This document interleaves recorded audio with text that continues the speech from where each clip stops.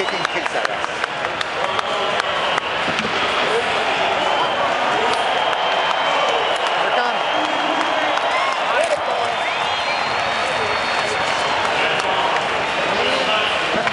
I. I think we're going to get hit in the face today. Yeah, probably.